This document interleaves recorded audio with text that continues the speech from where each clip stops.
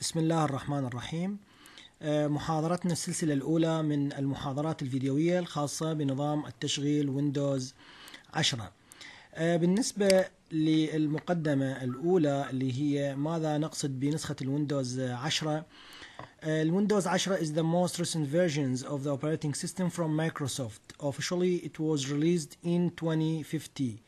إذا هي النسخة المحدثة الأخيرة من شركة مايكروسوفت المتخصصة بصناعة أنظمة التشغيل على مدار سنوات. طبعا إحنا إذا نجي نستعرض جملة من أنظمة التشغيل اللي إحنا كنا سابقا معتمديها يعني إذا نجي نقول عندنا سابقا كان عندنا نظام التشغيل اللي هو ال XP بعدين إجا عندك نظام التشغيل اللي هو ويندوز فيستا وبعد الفيستا اجى عندنا نظام التشغيل اللي إحنا نسميه الويندوز 7 وبعد الويندوز 7 اجى عندي نسخة الويندوز 8 وبعدين نسخة الويندوز 8.1 وبعدين وصل وصلنا إلى نسخة الويندوز 10 نسخة الويندوز 10 هي النسخة اللي تقريبا طورت كل ما موجود في ويندوز 7 ويندوز 8 وهو نفسه 8.1 للنسخة محدثة وأعطاني بما يسمى بنسخة الويندوز 10 إذا إذا نلاحظ هنا أنه الواجهة الأساسية الخاصة بنظام التشغيل هسه هاي الواجهة هي واجهة الويندوز. منين تتكون واجهة الويندوز اللي موجودة عندي؟ تتكون من سطح المكتب هذا هو سطح المكتب. بعد عندي هاي الآيقونات إذا نشوفها بالإضافة إلى شريط المهام الموجود عندي في أسفل النافذة. أه بالنسبة إلى الآيقونات تقسم إلى جزئين. الجزء الأول اللي إحنا نسميه بالآيقونات الأساسية اللي هن عددهن خمسة اللي هي هذه الآيقونات الأساسية اللي دا أشر قدامكم. اثنين أربعة خمس آيقونات أساسية. شو نقصد بالآيقونات الأساسية؟ اثنين أربعة خمسة. هي الآيقونات اللي تجي مع نظام التشغيل أثناء عملية شنو؟ تنصيبه. يعني الأدمنستريتر اللي هي ال My Document وال computers اللي هي This PC وال Network وال Recycle Bin وال Control Panel هذني أساسيات يجن مع نظام التشغيل أثناء عملية التنصيب. ما نقدر نعدل عليهن ولا نقدر نحذفهن ولا نقدر نغيرهن باستثناء ما تبقى كله يسمونه بالأيقونات الثانوية لأن أني ضايفهن وأقدر أحذفهن وأقدر أعدل عليهن وأقدر أغير عليهن. بالإضافة إلى ذلك بالأسفل عندنا ما يسمى بشريط المهام. شريط المهام. شريط المهام إذا تلاحظون يقسم إلى أربعة أجزاء. الجزء الأول هاي المنطقة منطقة الإشعارات والجزء الثاني هو منطقة المنطقة فارغة ومنطقة تثبيت التطبيقات مثل ما نشوف أكو تطبيقات مثبتة هنا عندنا بالإضافة إلى ذلك إلى قائمة إبدأ. قائمة إبدأ مثل ما نشوف هي القائمة اللي جمعت ما بين خصائص نظام التشغيل ويندوز 8 اللي هو هذا الجانب وما بين خصائص الويندوز 7 اللي هو هذا الجانب. اندمجا سوية عطتني بما يسمى بقائمة إبدأ المحدثة الموجودة في نظام التشغيل ويندوز 10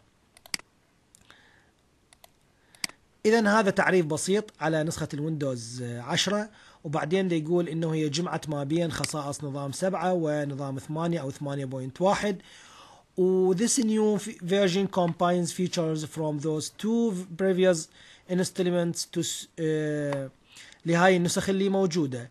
إذا نلاحظ أنه هاي النسخة نسخة الويندوز 10 بالإمكان أنه تستخدم بال desktop باللابتوب وكذلك بأجهزة الهاتف المحمول تم وضع قائمة ابدأ مثل ما قلنا. مكان قائمة Charms اللي هي موجودة كانت في نظام التشغيل ويندوز 8 اللي هي عبارة عن نافذة جانبية كنا نضغط عليها ونلقي كل الخصائص الموجودة في قائمة ابدأ موجودة في هذه القائمة الجانبية. نجي إلى عبارة ال installation اللي هي عملية التنصيب. تنصيب يقسم إلى قسمين. أما نسوي لها عملية ترقية وتحديث upgrade أو نسوي عملية clean install اللي هي فرمتة وإعادة تنصيب. إذا راح يكون عندنا ال upgrade وال clean install تحت موضوع ال installations ال upgrade اللي هي عملية الترقية. الترقية طبعا نظام التشغيل اللي هو نظام الويندوز 10 هذا تم إطلاقه بشكل رسمي في سنة 2015 فالشركة أعطت عرض لمدة عام كامل إنه الأشخاص اللي يمتلكون في أجهزتهم ويندوز 8 أو 8.1 أو ويندوز 7 راح يوصل إشعار لهم بترقية نظام التشغيل. أما الأشخاص اللي ما موجود بحواسيبهم هاي النسخ يعني الأقدم هذا ما تصير له عمليه تحديث ولا ترقية مجرد لازم يسوي عملية فرمتة وإعادة تنصيب.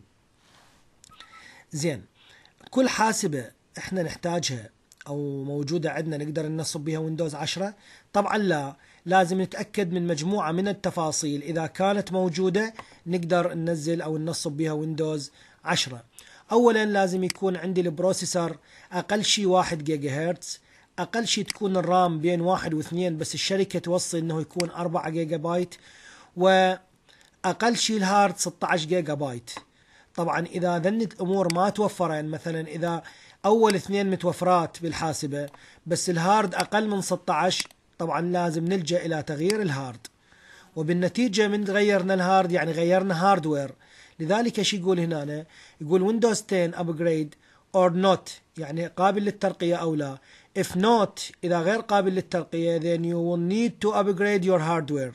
يعني لازم نلجأ إلى عملية تغيير وحدة من القطع ونستبدلها بالجزء اللي يتطابق مع متطلبات نظام التشغيل ويندوز 10 اجينا إلى الطريقة الأولى اللي هي طريقة الترقية حتى ننصب ويندوز 10 الطريقة الأولى قلنا تعتمد على أنه نظام التشغيل الموجود عندي بالحاسبة أما يكون ويندوز 7 أو ويندوز 8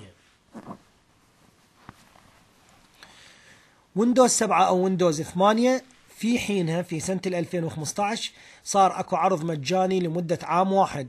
لذلك الخطوة الأولى يقول لك look for the Windows 10 notification in the lower right corner of the screen. يعني راح تجيك اشعار بالضبط هاي القائمة قائمة ابدأ راح تلقيها موجودة هنا.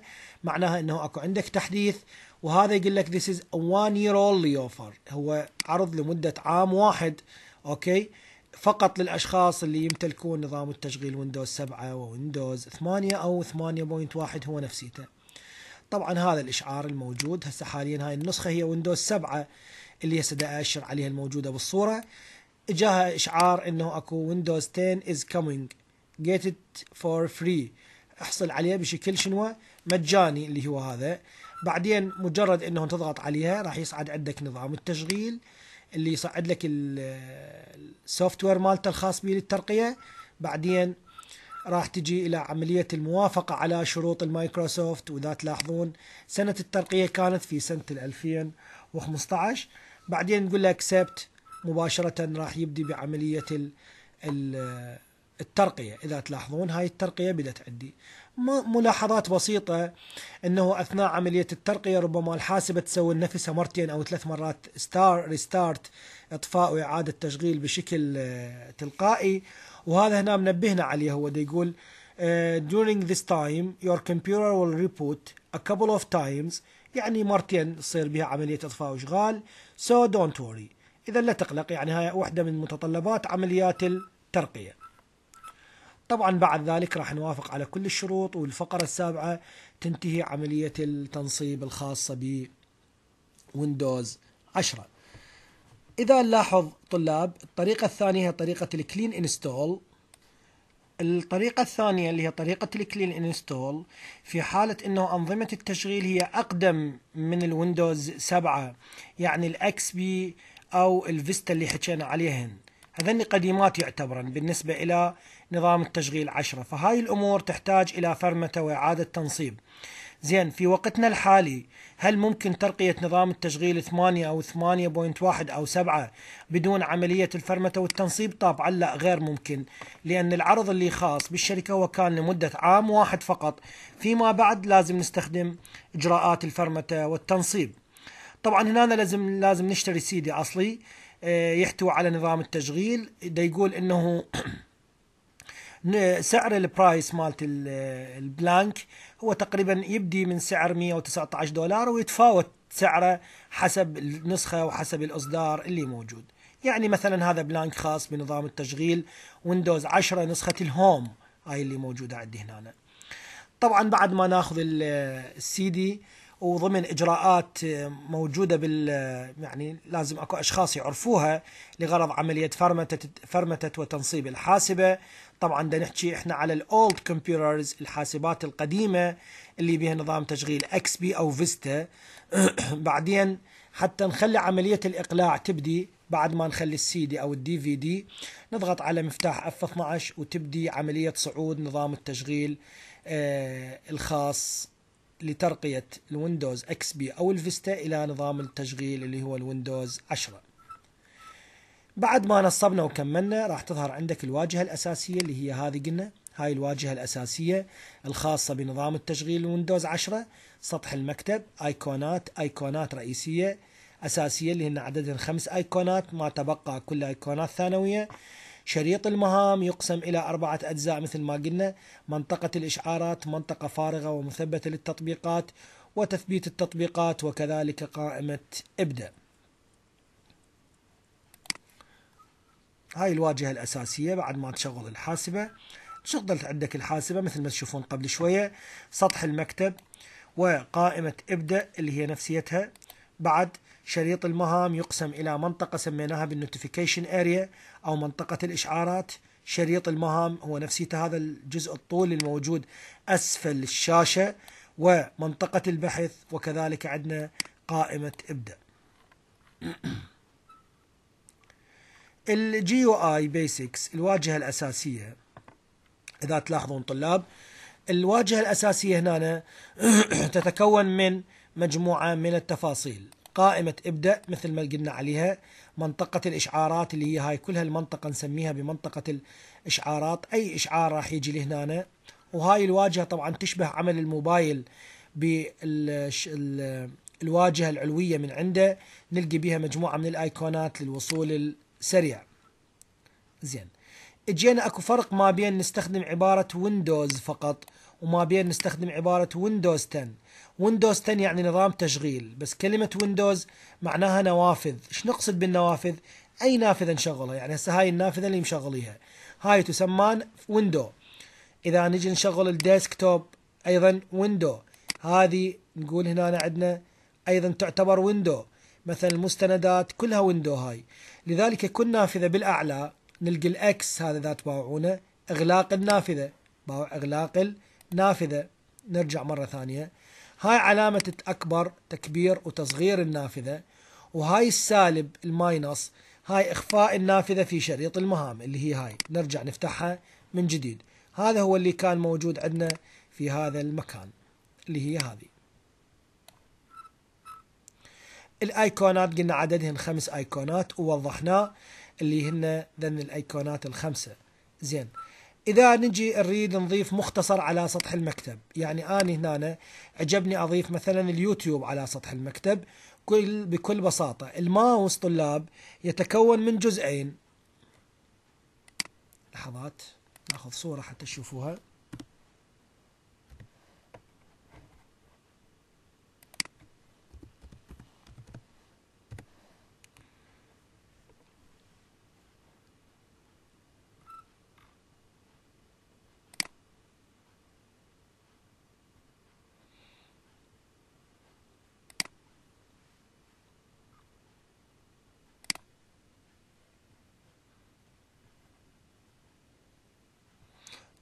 طبعا هذا هو الماوس يتكون من جزئين جزء أيمن وجزء أيسر.